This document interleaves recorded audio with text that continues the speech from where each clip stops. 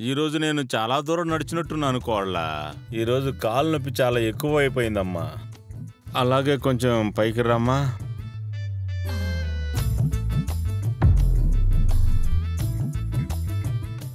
అదిరిపోయింది వదినా. చికెన్ సూపర్గా చేశారు. చికెన్ నచ్చిందా? లేక మటన్ నచ్చిందో చెప్పు. అదే ఏదని విడివిడిగా చెప్పలేకపోతున్నా నేను.